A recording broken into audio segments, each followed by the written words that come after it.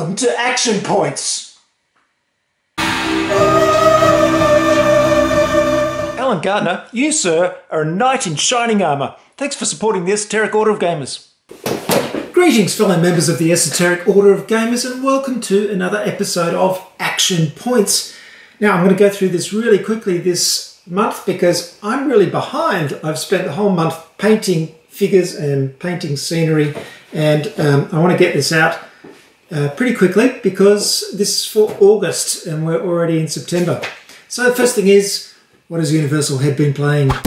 Well, it's all been painting, painting, painting in August, all of it Games Workshop stuff. Heaps of painting. In fact, I did so much painting, I almost made myself ill. I've hurt my neck and I'm just sore and my throat scratchy and uh, just too much time going like this. Ugh. So remember, when you're painting, always take lots of breaks. I always forget. I get stuck in the same position for hours, and then I stand up and go, oh! So here are some of the things I've painted. I painted up the terrain for Kill Team by Games Workshop.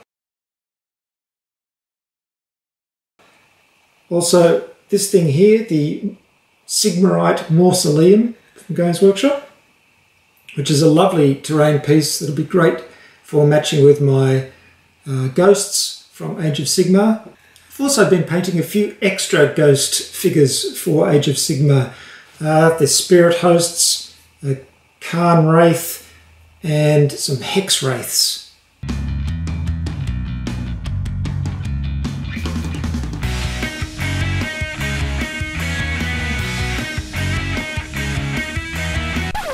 As for gaming, I bought a few new things, some expansions, two expansions for the Conan game, um, two extra expansion sets for Star Trek Ascendancy because I really enjoy that game. I've got the Ferengi and Cardassian expansions.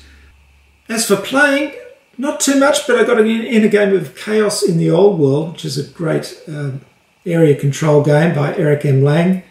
Also managed to play Magic the Gathering for the first time ever. Yes, I never played Magic the Gathering when it was popular. I was going through a period where I wasn't really playing any games at all. So I kind of missed out on that whole thing and I played it and really enjoyed it. It's a good game, but it's interesting to see how many people have borrowed its basic mechanics and applied them to later games. I also got a chance to play Magic the Gathering Arena of the Planeswalkers, which is pretty much the sequel to Heroscape, except without the gorgeous terrain. Still, it is a fun game because it takes the gameplay from Heroscape and adds spell cards as well. So, what's been happening in the world of gaming? Well, of course, Gen Con was on in August, and there were some new announcements and lots of interesting things going on. Fantasy Flight Games had a couple of interesting announcements. Arkham Horror is getting a complete revamp for a third edition of that game. Also, they announced Keyforge, a card game by Richard Garfield, the maker of Magic, the Gathering, and Netrunner. Um, the interesting thing about Keyforge is that each set is going to be unique. Yes, Fantasy Flight has come up with some interesting technology allowing them to print out unique sets. They're also using the same technique for a board game, which is going to be called Discover Lands Unknown. Though I'm not sure whether the idea of applying unique sets to board games is such a great idea. It'll be interesting to see how people welcome that innovation. Because I've been doing so much Games Workshop stuff lately, it's interesting to also learn that they doubled their pre-tax profits is something in the realm of 74.5 million pounds. Um, the resurgence of Games Workshop is certainly proceeding apace. They've been churning out lots of new games. Unfortunately, Adeptus Titanicus, the giant robot one, came out and it was so outrageously expensive I had to completely give it a miss. But I am enjoying Age of Sigmar and Kill Team. There's another one called Speed Freaks coming on the way, which looks like the spiritual successor to the old Gorkamorka game. Um, there's also a new Warhammer Quest game coming out set in the Warhammer 40k universe. It's going to be called Blackstone Fortress. Another interesting one is Plaid Hat Games Gen 7. This is using the same crossroads system that uh, Dead of Winter used except it's set on a generational ship flying through space. Looks interesting. Dead of Winter's always slightly disappointed me. It's got all the ingredients for a great game, but it never seems to really come together for me. So I'm hoping that Gen 7 has that special something that makes it really exceptional. And finally, Esoteric Order of Gamers news.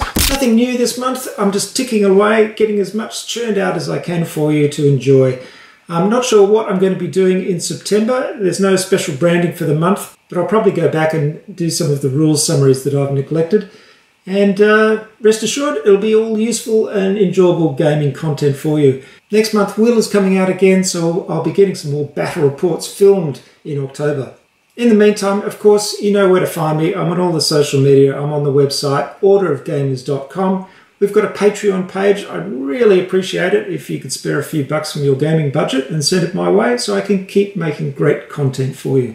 Thanks very much for watching, and I'll see you next time.